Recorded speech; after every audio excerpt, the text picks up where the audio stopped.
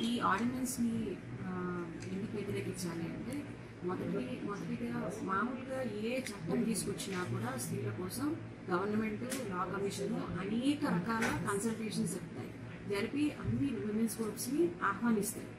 వాళ్ళు వాళ్ళు ఏమనుకుంటున్నారు? ఈ చట్టం కానీ ఈ ఆర్డినెన్స్ కానీ చేసేటప్పుడు ప్రభుత్వము ఏ ముస్లిం మహిళా సంఘాలని ప్రపంచం ఈ దేశం మొత్తం మీద చాలా ముస్లిం మహిళా సంఘాలు ఉన్నాయి ఏ సంఘాన్ని ఆహ్వానించలేదు ఆ రకంగా చూస్తే పూర్తిగా అప్రజాస్వామ్యం.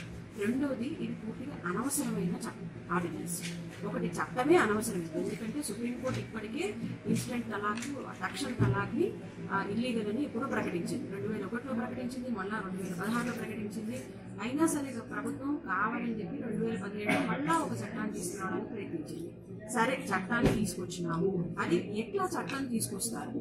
ఆ చట్టము విడాకుల చట్టంలో ఒక సవరణ చేస్తే సరిపోయేదానికి దాన్ని తీసుకొచ్చి దాన్ని మొత్తం నేరమయం చేసి ముస్లిం స్త్రీల జీవితాన్ని ఇంకా అతలాకుతలం చేసే చట్టాన్ని కూడా తీసుకొచ్చినాయి ఈ చట్టం వల్ల ముస్లిం స్త్రీలకు ఏ మాత్రం ఉపయోగం ఉండదు అన్ని రకాల సమస్యల్ని విడాకుల పద్ధతిని నేరమయం చేయడం వల్ల ఎవరికి ఉపయోగం ఉండదు కాబట్టి ఈ చట్టాన్ని మనం వెనక్కి తీసుకోవాలి వెంటనే ప్రభుత్వం వెనక్కి తీసుకోవాలి दोनों का रैपो अच्छा रहा तो ही हो सकता है उसमें से कोई एक पीछे रह जाए तो ये कॉमन फ्रेंडशिप नहीं है कोई और रिलेशन नहीं है ये रिलेशन वो है कि वाइफ हस्बैंड का एक दूसरे के साथ अच्छा रैपो रहना ज़रूरी है। तो एक ये महसूस करता है कि अब मैं साथ नहीं रह सकता, या नहीं रह सकती हूँ। तो इसमें इस्लामिक पॉइंट ऑफ़ व्यू से, शरीयत के पॉइंट ऑफ़ व्यू से बिल्कुल कूलली ये लोग सेपरेट हो सकते हैं। उसके लिए एलिगेशन लगाना ज़रूरी नहीं है, उसके लिए कोई और चीज़ करना ज़रूरी नहीं है। तो एक अच्छा खासा मतलब हमारे लिए अपॉर्चुनिटी है, हमारे लिए काफ़ी सहूलतें हैं इसमें। तो उसको आप एक गैर ज़रूरी सिविल राइट को आप क्रिमिनलाइज कर दे रहे हैं और उसके लिए खवातीन को काफ़ी प्रेशराइज कर रहे हैं। तो ये बिल्कुल मुनासिब नहीं हम बिल्कुल डेड अगेंस्ट है इसके। फिर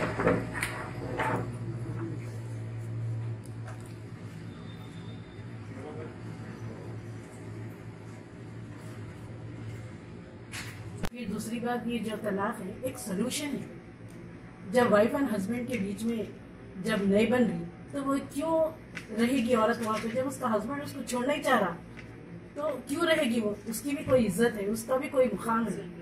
सेल्फ रेस्पेक्ट है।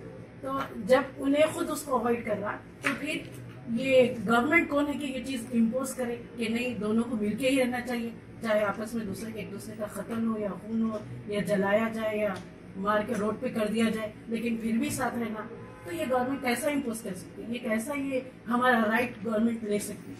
जबकि ये कोई एक, ये प्रॉब्लम नहीं है, ये डिवोर्स ये एक सोल्यूशन है फॉर बेटर सोसाइटी इसके लिए क्या बड़े के प्रस्ताव ज़रिए हम लोग आगाह कर रहे हैं अपने गवर्नमेंट को सेंट्रल गवर्नमेंट को स्टेट गवर्नमेंट को भी।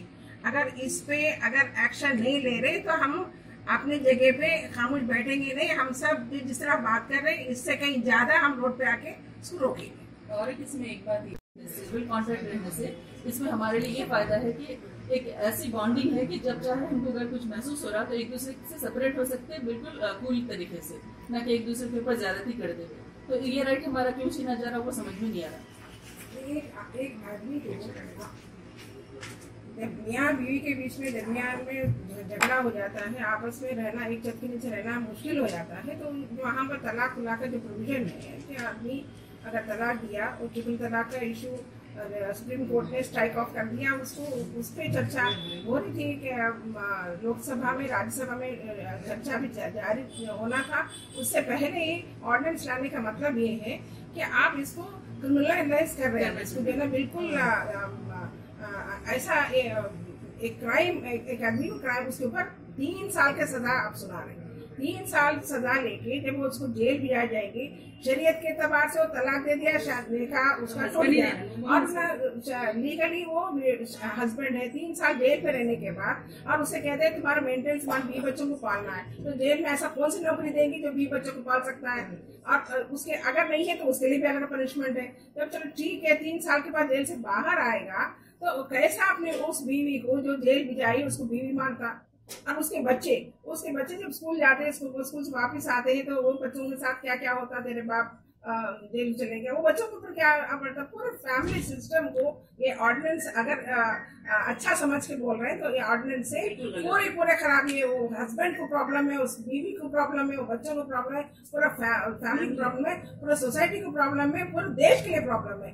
और एक तो एक फैमिली तरफ़ से दूसरी बात हमारा डेमोक्रेटिक अनडेमोक्रेटिक तरीके से आप लेके आए डेमोक्रेसी इज़ अंडर थ्रेट इस तरह का ऑर्डिनेंस ये ऑर्डिनेंस जो है ना डेमोक्रेसी के ऊपर थ्रेट है, आप एक दबाव किए हैं। ये इस चीज़ को बचना चाहिए, हम मोदी साहब का जो इस ऑर्डिनेंस को फ़ौरन वापस लेना है और राज्यसभा में जब डिस्कशन में नहीं आया, लोकसभा से भी वापस बिल को वापस लेने के लिए हम डिमांड कर रहे हैं।